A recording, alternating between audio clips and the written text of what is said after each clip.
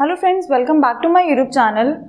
आज जो हम लोग पढ़ने वाले हैं, वो पढ़ने वाले हैं अबाउट मनी अब बहुत लोगों को ये वाला चीज़ लग रहा होगा कि ये तो बहुत बेसिक चीज़ है। देखो जनरली होता क्या है कि हम लोग क्या करते हैं बहुत एडवांस एडवांस एडवांस चीज़ें पढ़ते जाते हैं जो हमारा बेसिक होता है ना, वो कहीं पे वैनिश हो जाता है। मतलब वैनिश का लेवल ही अल्टीमेट होता है वैनिश होने का लेवल हाँ आई अंडरस्टैंड कि जो टॉपिक है, वो बहुत ज़्यादा बेसिक टॉपिक है बट डेफिनेटली कि अगर एडवांस चीज़ों के ऊपर जाना है तो एटलीस्ट बेसिक चीज़ों के साथ ही शुरू करेंगे तो दैट वुड बी बेटर अगर मैं डायरेक्टली कोई एडवांस टॉपिक लेके चलूँ तो मुझे भी थोड़ा सा अच्छा नहीं लगेगा। तो I thought to give it a try at least with the basic things कि सबसे पहले बेसिक के साथ शुरू कर दें ताकि हम लोग जो एडवांस चीज़ों के ऊपर जाएँ तो हमारे पास वो बेसिक डेटा अवेलेबल हो। तो again I try to make the video very short तो बहुत सारी बेसिक टर्म्स है इसके अंदर जो हम पढ़ने वाले हैं अबाउट द मनी तो देखिए, सबसे पहले शुरू करते हैं मनी होता क्या है? देखो, सबको पता है वाली चीज़ कि सबसे पहले हमारे पास क्या चीज़ होती थी? बार्टर सिस्टम ऑफ़ एक्सचेंज था. Barter system of exchange means कि हम गुड टू गुड एक्सचेंज कर रहे हैं. यानी कि मेरे को अगर राइस की रिक्वायरमेंट है, सामने वाले को वीट की रिक्वायरमेंट है तो मैं उसको राइस दे तो मुझको वीट दे दे. हो गया किस्सा खत्म. कुछ पैसा नहीं, कोई झंझट नहीं, मस्त चल रहा है लाइफ ठीक है? अब वो बार्टर सिस्टम था. तो उसके बाद लेकिन आज वो चीज़ें नहीं है। आज हम लोग क्या यूज़ कर रहे हैं? आज हम लोग मनी यूज़ कर रहे हैं। तो बाटर सिस्टम से मनी आया कैसे था? देखो, जब भी कोई चीज़ नई इन्वेंट होती है ना तो उसका एक ही रीजन है, पुरानी चीज़ में इंप्रूवमेंट के लिए तो हम नई चीज़ इन्वेंट कर रहे हैं, उसी में इंप्रोवाइजेशन हो रहा है यही तो काम होता है नई चीज़ों में सेम जब बाटर सिस्टम के अंदर ड्रॉबैक्स थी, उसको दूर किया इस चीज़ ने यानी कि जो मनी है, वो पैसे हैं। अब अगर मैं बार्टर सिस्टम के ऊपर भी वीडियो बनाऊँ तो I think I don't think उसका कोई रिक्वायरमेंट था, क्योंकि बार्टर में बहुत ही बेसिक चीज़ है हमारे पास में, कि गुड टू गुड हम एक्सचेंज करके चलते हैं। अब उसमें प्रॉब्लम्स क्या क्या थे? तो दो चार हम थोड़ा सा एक बार ओरली डिस्कस कर लेते हैं। प्रॉब्लम देखो, पहली प्रॉब्लम क्या थी अपने पास में? Double coincidence of wants double coincidence of wants का मतलब मैंने अभी एग्ज़ाम्पल के लिए राइस और वीट का। मेरे पास उसको देने के लिए सिर्फ़ राइस है। उसके पास मुझे देने के लिए वीट है। अपने को गुड्स एक्सचेंज करनी है। बट वट इफ़ मुझे ज़रूरत ही नहीं हो बीट की बट इफ़ उसको ज़रूरत ही नहीं हो राइस की so double coincidence of wants मतलब जो एक्सचेंज करने वाले दो पार्टीज़ अवेलेबल हैं, वो दो पार्टीज़ के पास वही गुड्स होने चाहिए ना जो दूसरे वाले को रिक्वायरमेंट है। अगर मेरे को वो चीज़ चाहिए ही नहीं जो सामने वाले को रिक्वायरमेंट है तो काम खराब हो जाएगा, ठीक है? उसके बाद में हम अगर गुड एक्सचेंज कर रहे हैं, हम उसको बहुत लॉन्ग पीरियड तक स्टोर नहीं कर सकते, क्योंकि वहाँ पे चीज़ हुई, जब जिस चीज़ की रिक्वायरमेंट है, हम वही चीज़ ले रहे हैं। अब मुझे लेट से रिक्वायरमेंट है किसी पर्टिकुलर गुड की, सामने वाले को या तो ये कह लो कि मुझे वो गुड देना भी नहीं है। अब अगर मैं उसको कहूँ कि यार तू रख ले, जब तेरे को ज़रूरत पड़ेगी तो तब यूज़ करियो। तो यानी कि वहाँ पे वो चीज़ स्टोर करने के लिए होनी चाहिए बट जो हमारे पास एडिबल थिंग्स होती है, खाने वाली चीज़ें, वो हम बहुत लॉन्ग टर्म के लिए स्टोर नहीं कर सकते हैं। तो इस तरीके से कुछ हमारे पास में तीन चार जो है, वो ड्रॉबैक्स हैं बार्टर सिस्टम के, उन्हीं चीज़ों को दूर करते करते हमारे पास फाइनली क्या चीज़ आ चुकी है? हमारे पास है मनी अब वही जो बार्डर सिस्टम की ड्रॉबैक थी, कमियाँ थी मनी के लिए समवेयर वो एडवांटेजेस हैं, क्योंकि हम वो सारी चीज़ें यहाँ पे कर सकते हैं. सो बेसिकली मनी होता क्या है? Money is a medium of exchange जो हम यूज़ करते हैं गुड्स को लेने के लिए, किसी भी चीज़ को लेने के लिए, जो भी हमें रिक्वायरमेंट है मीडियम ऑफ़ एक्सचेंज की अगर हमें चीज़ें एक्सचेंज करनी है, मुझे अगर सामान चाहिए तो मैं उसको मनी दे दूँगी. ठीक है? तो ये मीडियम ऑफ़ एक्सचेंज के लिए जो हम यूज़ करते हैं, वो हमारे पास में मनी है. अब वो करेंसी है कॉइन्स है हमारे पास में तो वो मीडियम ऑफ़ एक्सचेंज के लिए हम यूज़ कर रहे हैं। अब उसमें क्या क्या चीज़ें इंक्लूड होती हैं, वो हम लोग इस वीडियो में आगे डिस्कस करने वाले हैं। तो ये तो मनी का मीनिंग था, एक बहुत ही छोटो सा मीनिंग कि मीडियम ऑफ़ एक्सचेंज होता है हमारे पास में। अब फ़ंक्शंस क्या क्या हैं उस मनी के? देखो, हमने फ़ंक्शंस को दो पार्ट में डिवाइड किया प्राइमरी और सेकेंडरी फ़ंक्शन प्राइमरी जो मोस्ट इंपॉर्टेंट फ़ंक्शंस होते हैं प्राइमरी जो सबसे पहले काम में आने वाली चीज़ है हमारे पास वो। तो देखो, सबसे पहला हमारे पास में क्या है? Measure of value measure of value जो पहली चीज़ हम यहाँ पे कर रहे हैं, देखो। अब मेजर ऑफ़ वैल्यू अब जो हम गुड टू गुड एक्सचेंज करते हैं, ठीक है? अब बार्डर सिस्टम में जो गुड टू गुड एक्सचेंज करने वाला सिस्टम होता था, उसमें क्या होना चाहिए? अब देखो, एक क्वांटिटी का भी तो होता है ना। लेट से अगर मेरे पास में वन के राइस और सामने वाले के पास वन के वीट है। क्या दोनों का जो वैल्यू है, वो इक्वल है? यानी कि जितना वैल्यूएबल मेरे पास वाला गुड है, क्या उतना ही वैल्यूएबल उसके पास वाला गुड है? अभी क्या होता है? अब अगर अगर मुझे अभी राइस चाहिए वन के तो जितना वैल्यू वो डिजर्व करता है, मैं उतना उसको मनी में पे कर रही हूँ। और यहाँ पे हम उसका वैल्यू मेजर करके वो चीज़ एक्सचेंज कर सकते हैं। बट ये वाला प्रॉब्लम बार्टर सिस्टम में था, जो कि जो मनी इस ड्रॉबैक को दूर करता है, क्योंकि अब हम उस चीज़ को एग्जैक्ट उसका वैल्यू को मेजर करके उतना ही अमाउंट उसको पे कर सकते हैं, जो कि वहाँ पे थोड़ा सा टफ था करना इन बार्टर एक्सचेंज सेकेंड हमारे पास में आ जाता है मीडियम ऑफ़ एक्सचेंज जिसकी हम बात कर रहे थे अभी। मीडियम ऑफ़ एक्सचेंज काम करने के लिए कि अभी हमें जो चाहिए सामान लेने के लिए मेनली उसको सामने वाले को पैसे दे दो, जितना उसका वैल्यू बना, जितना उसका अमाउंट बना, उसको वो दे दो वहाँ पे देने के लिए। पहले मीडियम ऑफ़ एक्सचेंज कुछ नहीं सिंपल क्या होता था आपके पास में कि मुझे गुड की रिक्वायरमेंट है, तुझे गुड की रिक्वायरमेंट है एक्सचेंज कर लेते हैं। यहाँ पे क्या? वैल्यू को मेजर करो और सामने वाले को दे दो। अब हम गुड को एक्सचेंज करने के लिए बेसिकली उस सामान को लेने के लिए उसको पैसे दे सकते हैं। वहाँ पे तो मीडियम ऑफ़ एक्सचेंज है हमारे पास। हम इजीली मनी को कहीं पे भी जाके यूज़ कर सकते हैं। No one can refuse it कि नहीं, मैं मनी नहीं ले रहा हूँ।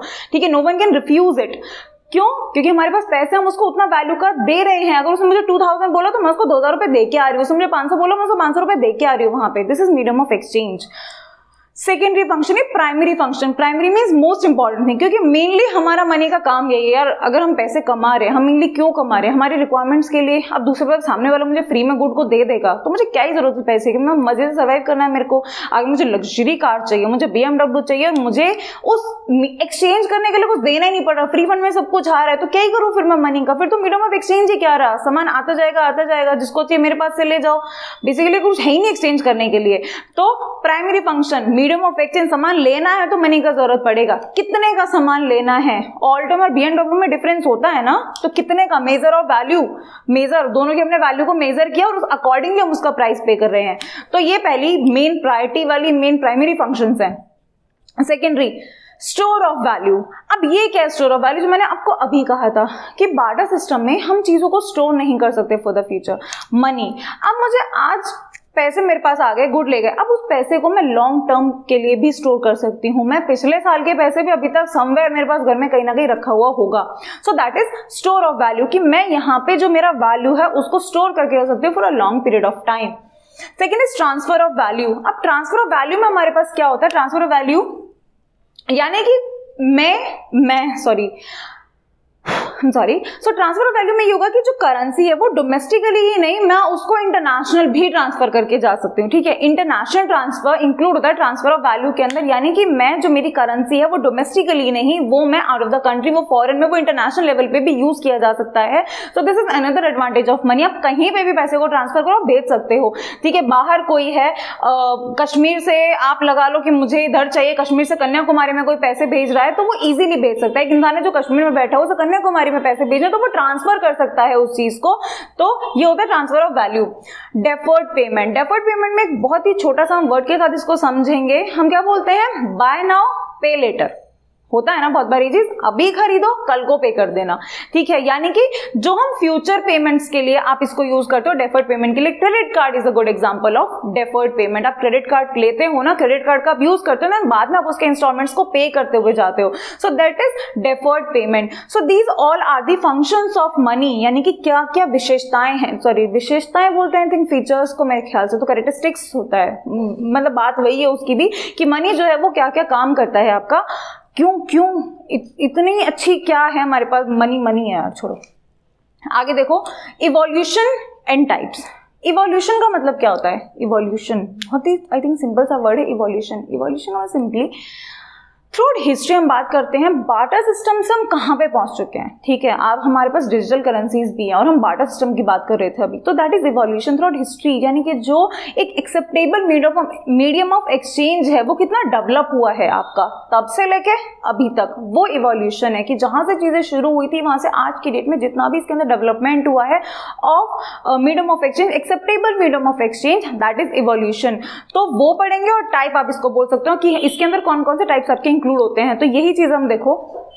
सबसे पहला हमारे पास आता है कॉमोडिटी मनी अब कॉमोडिटी मनी इस वर्ड इस चीज़ के साथ के लिए एक वर्ड आप समझना, वो होता है इंट्रेंसिक और एक्सट्रिंसिक वैल्यू एक बार मैं स्पेलिंग के लिए उसको लिख देती हूँ, ठीक है? इंट्रिंसिक और एक्सट्रिंसिक ठीक है? I am sorry if I am wrong with the spelling so intrinsic और एक्सट्रेंसिक आपके पास में जो वैल्यूज़ होते हैं, ये होता क्या है देखो? सबसे पहले कॉमोडिटी मनी कॉमोडिटी मनी हम मान के चलो, ये वो मनी होती है, यानी कि जो गुड हमने बनाया है, उस गुड में जितना कॉस्ट लगा है, वही उसका वैल्यू हो। जैसे हम एग्ज़ाम्पल ले एलिफेंट टीथ आप ले सकते हो, ठीक है? एलिफेंट टीथ ठीक है? वेल टीथ ये जो एग्जाम्पल्स होते हैं, वो कॉमोडिटी मनी के होते हैं। कॉमोडिटी मनी का मतलब सिंपली कि जिसमें वो चीज़ कॉमोडिटी जो बनी हुई है, उसी का जो कॉस्ट आ रहा है, उसी का जो वैल्यू है दैट इज़ कॉमोडिटी अब इंट्रेंसिक वैल्यू क्या होता है? इंट्रेंसिक वैल्यू किसका खुद का वैल्यू है वहाँ पे, कि जितना वो, जो उसकी खुद की वैल्यू वो डिजर्व करता है इंट्रेंसिक वैल्यू यानी कि उसकी खुद की कुछ वैल्यू है। अब हम पेपर की बात करते हैं। जैसे मैं आपको एग्ज़ाम्पल दूँगी जो दो हज़ार का नोट आता है। डू रियली थिंक जो दो हज़ार का नोट आता है एक्चुअली में उसका जो कॉस्ट है, वो दो आया हुआ होगा, नहीं आया हुआ होता है, उसका कॉस्ट बहुत कम होता है, लेकिन उसकी जो वैल्यू होती है वो दो हज़ार होती है। इसका मतलब उसमें इंट्रेंसिक वैल्यू नहीं है, लेकिन जो कॉमोडिटी मनी होती है उसमें इंट्रेंसिक वैल्यू है, यानी कि जो, जितना वो वैल्यू का वो चीज़ है, उतनी ही उसकी वैल्यू भी है एक्चुअली में। तो वो कॉमोडिटी मनी होती है। Intrinsic value it it include intrinsic value metallic money gold silver coins जो हमारे पास होते हैं, ठीक है? अब इसके अंदर इंट्रेंसिक वैल्यू होती है कि नहीं होती है? इसके अंदर भी इंट्रेंसिक वैल्यू होती है। यानी कि आपके पास जो गोल्ड कॉइन आता है, अगर आप उसको पिघलाओगे तो भी आप जो है, आपको वो वैल्यू मिलेगा। जो गोल्ड का वैल्यू होता है, आप उसको भी बेच सकते हो। गोल्ड को पिघला के आपके पास कुछ, हम क्या करते हैं, एक चीज़ को मेल्ट करा के दूसरी चीज़ में कन्वर्ट करा लेते हैं वैल्यू वहीं का वहीं रहता है। आपके पास दो हज़ार का नोट है, उसका फाड़ के फेंक दो। क्या कुछ भी वैल्यू रहा नहीं रहा? ठीक है, आप उसको आग में जला दो, कुछ भी वैल्यू रहा नहीं रहा। लेकिन जो गोल्ड अगर आप उसको मेल्ट करोगे तो वैल्यू वहीं पे है, उसकी जो वैल्यू आप उसको बेच सकते हो, आप उसको यूज़ कर सकते हो। दैट इज़ मेटेलिक मनी जो गोल्ड सिल्वर सारे कॉइन्स होते हैं, जो मेटल आपके पास में करेंसीज होती है दैट इज़ मेटेलिक मनी इसके अंदर इंट्रेंसिक वैल्यू होती है? हाँ इसके अंदर भी इंट्रेंसिक वैल्यू होती है. नेक्स्ट इज़ पेपर मनी जो मैंने अभी आपको एग्जांपल दिया पेपर मनी जो हमारे पास में नोट होते हैं हमारे, ठीक है? दो हज़ार के पाँच सौ के, अब आप इनके अंदर इंट्रेंसिक वैल्यू होती है? नहीं होती है. इसके अंदर कोई इंट्रेंसिक वैल्यू नहीं होती है. जो मैंने आपको अभी बोला, अगर आप दो हज़ार का नोट फाट के फेंक दो, जला दो, कुछ कर दो, उसका कोई वैल्यू नहीं है. एक्सट्रेंसिक वैल्यू उसके अंदर होती है, यानी कि उसको एक वैल्यू दिया गया है. अगर आप कहीं पे फाइव हंड्रेड रुपीज़ का नोट लेकर के जाते हो और आप उस उस वैल्यू पाँच सौ रुपए की वैल्यू की चीज़ लेते हो तो हम आपको जो पाँच सौ रुपए का नोट है, वो वैल्यू का सामान देगा। लेकिन उसकी खुद की जो कॉस्ट है, उसकी जो खुद की जो वैल्यू है, वो इंट्रेंसिक वैल्यू नहीं, वो एक्सट्रेंसिक वैल्यू है कि आरबीआई ने, जिसने वो नोट इशू किया, उसने आपको ये वो उनकी एक लाइबिलिटी बनी है कि आप अगर पाँच सौ रुपए का नोट यूज़ करोगे तो आपको पाँच सौ रुपए का सामान मिलेगा। लेकिन अगर आप उस नोट को जला दो, फाड़ दो तो उसकी कोई वैल्यू नहीं रह जाती है। जैसे कि इनकी वैल्यू है हमारे पास में, उसकी ऐसा अपनी कोई इंट्रेंसिक वैल्यू नहीं है, वो एक्सटेंसिक वैल्यू है। इसमें मैंने एक और वर्ड लिखा हुआ है फैट मनी वो मैं अभी right after these two topics वो हम डिस्कस करेंगे, ठीक है? Bank money which includes your cheques and draft वो बैंक मनी होता है। तो ये इवोल्यूशन की भी हम बात कर रहे हैं, साथ के साथ में कि पहले आपको पता होगा, पहले ही चीज़ें चलती थी कि जो ट्रांजेक्शन है, वो होता था इन चीज़ों के साथ में कि जो इन चीज़ों का यूज़ किया जाता था। गोल्ड सिल्वर कॉइन कितना चलते थे? पहले एक्सचेंज में राजा महाराजा टाइम पीरियड में चलते थे। देन पेपर मनी आया अपने पास में। देन बैंक मनी चेक्स और ड्राफ्ट कितना यूज़ होता है? फॉर द ट्रांजेक्शन हम चेक का यूज़ करते हैं कि अगर मुझे ट्रांजेक्शन करनी है तो मैं उसको एक चेक लिख के दे दूँ, उसको पेमेंट कर दूँगी वहाँ पे। तो that is also possible next is crypto currency which is digital currency alter alternative method for transaction crypto currency अब क्रिप्टो करेंसी के बारे में बहुत डिस्कस नहीं करेंगे। I try to make another video over the topic crypto currency क्योंकि अपने आप में अच्छा खासा लेंदी वीडियो है। But for a brief description it is just a digital currency जो हम ऑल्टरनेट आप यूज़ कर सकते हो एज अ करेंसी आप इसको एक्सचेंज के लिए यूज़ कर सकते हो all it is not very popular but still it is another type of money अब जो मैंने आपको अभी कहा था कि we gonna discuss about fiat money तो उसके साथ एक और टॉपिक हमारे यहाँ पे जुड़ जाता है विच इज़ लीगल टेंडर ठीक है I think if we are talking about fiat money तो हमको लीगल टेंडर भी एटलीस्ट एक बारी पढ़ लेना चाहिए। क्योंकि बहुत लोगों को ना ये डिफरेंस नहीं पता होता कि फैट मनी लीगल टेंडर में एक्चुअली में डिफरेंस होता क्या है। ठीक है? तो वो समझना बहुत ज़रूरी है कि जो मनी हम लोग यूज़ कर रहे हैं करंट में। अगर मेरे पास में दस, बीस, पचास, पाँच सौ, दो हज़ार का नोट है, अगर हम वो करेंसी यूज़ कर रहे हैं तो वो फेट है या फिर लीगल टेंडर है? तो बहुत लोगों को ये वाला डिफरेंस जो है ना, वो नहीं पता होता। तो देखो फेट मनी होता क्या है? To make the money fiat money इसको दो at least condition simultaneously fulfil करना डेफिनेटली रिक्वायर्ड है इंपॉर्टेंट है। तो पहला कौन सा है? देखो, पहला हमारे पास में है फ़र्स्ट कंडीशन की अगर हम बात करें it should be in a currency form with is paper और द कॉइन्स एक करेंसी की फॉर्म में होना चाहिए आपके पास में, ठीक है? करेंसी की फॉर्म में मतलब चाहे हमारे पास वो कॉइन्स हो, या फिर हमारे पास में वो पेपर नोट्स हो. सो करेंसी की फॉर्म में होना चाहिए. वो पहली चीज़ जो रिक्वायर्ड है हमारे पास. इसकी दूसरी कंडीशन क्या है? It should be issued by the like king queen or the government or the any issue जो ऑथोराइज uh, जो हमारी वो होती है ना कैटेगरी यानी कि जैसे आरबीआई हो गया ऑथोराइज कैटेगरी जो कि उस करेंसी uh, को इशू कर रहा है। उसके द्वारा वो ऑथोराइज करेंसी होनी चाहिए कि उनके द्वारा वो करेंसी इशू की जानी चाहिए तभी वो फैट मनी कंसिडर की जाएगी। तो सेकेंड इज़ ऑथोराइज करेंसी होनी चाहिए वो हमारे पास में यानी कि इशूड बाय ऑथोराइज पर्सन पहले किंग वगैरह होते थे और अभी हमारे पास में सरकारी और आरबीआई जो होती है वो होती है ठीक है? तो अगर ये दो कंडीशन साइमल्टेनियसली फुलफिल होती है, तभी हम उसको कंसिडर करेंगे फैट मनी अदरवाइज़ वो फैट मनी कंसिडर नहीं किया जाएगा, ठीक है? इसमें और इसमें डिफरेंस क्या हुआ फिर? देखो, अब लीगल टेंडर के लिए भी दो रिक्वायरमेंट होनी चाहिए। अब लीगल टेंडर के लिए फ़र्स्ट जो रिक्वायरमेंट है, वो फ़र्स्ट रिक्वायरमेंट ही यही है कि वो आपका जो है, वो फेट मनी होना ही होना चाहिए। यानी कि ऑटोमेटिकली ये दो कंडीशंस तो इसके अंदर इंक्लूड होनी ही होनी चाहिए अदरवाइज़ वो लीगल टेंडर कंसिडर नहीं होगा। ठीक है? अब इसके अंदर दूसरी कंडीशन क्या है कि वो करंटली जो है इकोनॉमी में वो एप्लीकेबल होनी चाहिए, लागू होनी चाहिए। यानी कि वो जो लीगली करन जो करेंसी है, वो लीगली इकोनॉमी में एप्लीकेबल होनी चाहिए। वो लीगली का मतलब क्या हुआ कि आरबीआई के द्वारा जो करेंसी इशू कर रहा है कंट्री के अंदर गवर्नमेंट बाय आरबीआई के द्वारा वो करेंसी जो है, वो लीगली इकोनॉमी में एप्लीकेबल होनी चाहिए, वो यूज़ करने लायक सिचुएशन में होनी चाहिए। जैसे कि एक एग्ज़ाम्पल लेते हैं, देखो, हम बात करते हैं वो पाँच और हज़ार के नोट की जो डिमोनेटाइजेशन से पहले चलते थे, ठीक है? अब हम ये देखते हैं कि वो पाँच और हज़ार के नोट जो है, वो फैट में लीगल टेंडर है या फिर नहीं है। देखो पहली कंडीशन क्या थी हमारे पास? करेंसी के फॉर्म में है डेफिनेटली करेंसी के फॉर्म में है, दोनों के दोनों। ऑथोराइज पर्सन ने इशू किए थे, बिल्कुल ऑथोराइज पर्सन ने इशू किए थे, क्यों? आरबीआई ने तो इशू किया था करेंसी को। दैट मीन जो पाँच हज़ार के डिमोनेटाइजेशन से पहले जो हमारे पास चलते थे, वो फियाट मनी है वो वाले जो दो नोट्स हैं। अब हम बात करते क्या वो लीगल टेंडर है या फिर नहीं है?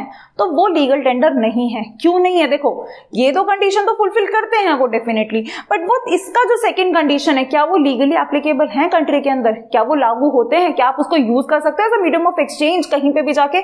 आप उसको as a medium of exchange use नहीं कर सकते हो कहीं पे भी जाके तो वो जो है वो लीगल टेंडर नहीं है। ठीक है? तो इसके लिए बिग येस वो करेंसी के लिए और इसके लिए बिग नो अब जैसे जो करंटली हमारी करेंसी चल रही है, हम सीधा सीधा 2000 के एग्जांपल लेते हैं, जो हमारा पिंक कलर वाला 2000 का नोट आता है। क्या वो फैट मनी है? डेफिनेटली करेंसी के फॉर्म में है और आरबीआई ने इशू किया हुआ था तो फैट मनी तो है। फैट मनी है हमारे पास में। क्या लीगल टेंडर है? तो फ़र्स्ट कंडीशन तो ऑटोमेटिकली फुलफिल हो रही है, क्योंकि वो फैट मनी है। क्या सेकंड कंडीशन को फुलफिल करता है? इकोनॉमी में आप उसे मीडियम ऑफ़ एक्सचेंज यूज़ कर सकते हो। बिल्कुल कर सकते हो। आज आप उसका as a medium of exchange आज के जो करंट में हमारे पास पाँच सौ के नोट है, आप उसे मीडियम ऑफ़ एक्सचेंज यूज़ कर सकते हो ना? तो दैट इज़ लीगल टेंडर यानी कि ये वाली जो करेंसी होगी, वो लीगल टेंडर है आपके पास में बट वो फैट वो सॉरी वो फैट मनी लीगल टेंडर दोनों है बट जो डीमोनेटाइजेशन से पहले वाले नोट थे, वो फैट मनी तो है। बट वो लीगल टेंडर नहीं है. So I hope that I made this video very clear to you अगर कोई भी डाउट होता है तो just let me know in the comment section and thank you so much for watching like share and subscribe bye bye thank you so much